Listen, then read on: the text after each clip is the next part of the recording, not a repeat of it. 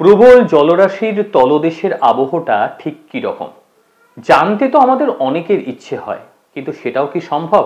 আর এবারে তো একেবারে ট্রেনে চেপে প্রবল জলরাশির নিচে বসে নীল রঙের গাঢ় জলের মধ্যে দিয়ে যাতায়াত, সেটা পুরো মাত্রায় অনুভূত হবে। পাওয়া যাবে শব্দ। বড় বড় মাছ সেখানে খেলে বেড়াবে, সেই দৃশ্য চাক্ষুষ করতে পারবে সাধারণ মানুষ। কি মনে হচ্ছে? কোনো বিদেশের কথা বোধহয় বলছি। একেবারে নয়।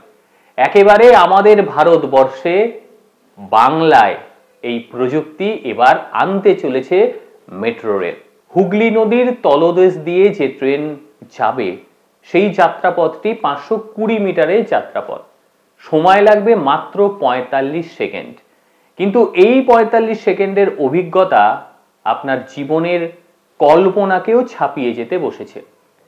গাঢ় নীল রঙের জলরাশির তল দিয়ে যাবে ট্রেন, যেটি আলো দ্বারা সুসজ্জিত করা রয়েছে। তারই সঙ্গে বড় বড় মাছ সেটা খেলে বেড়াবে, সেটাও আপনারা দেখতে পারবেন। এবং সর্বোপরি আবহ এবং তার আওয়াজ, সেটাও পুরো মাত্রায় পেতে চলেছে সাধারণ মানুষ। কি হবে সেই অভিজ্ঞতা? একবার দেখুন, চাক্ষুষ করুন।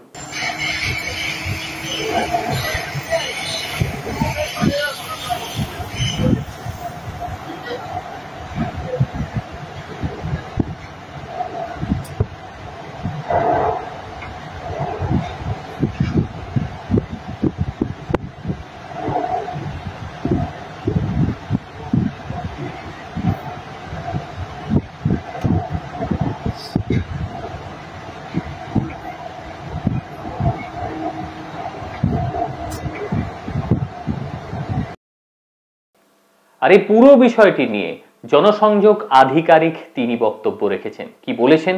চলুন শুনে নিন নমস্কার। হুগলি নদীর নিচে দিয়ে মেট্রো ভ্রমণের স্বপ্ন পূরণ এতদিনের সফল হবে কলকাতাবাসী হুগলি নদীর নিচে দিয়ে পাঁচশো কুড়ি মিটারের এই টানেল এর অংশটা আপনারা যাতায়াতের সময় একটি অন্য অনুভূতি যাতে পান, সেই জন্য মেট্রো রেলওয়ে একটি নতুন ব্যবস্থা নিয়েছে। এই টানেলটি আমরা অতিক্রম করতে সময় নেব পঁয়তাল্লিশ সেকেন্ড।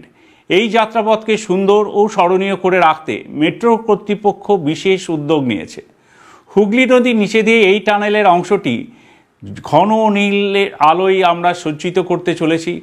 ট্রেনের এই অংশের মধ্যে দিয়ে যখন যাবে, তখন যাত্রীদের মনে হবে ঘন নীল জলরাশির মধ্যে দিয়ে আমরা যাচ্ছি। চারপাশে খেলে বেড়াবে বড় বড় মাছ, সমস্তটা আলোয় সাজানো হচ্ছে। এছাড়া ট্রেনের মধ্যে শব্দের সাহায্যে আমরা ফুটিয়ে তোলার চেষ্টা করব। নদীর নিচের আবহ।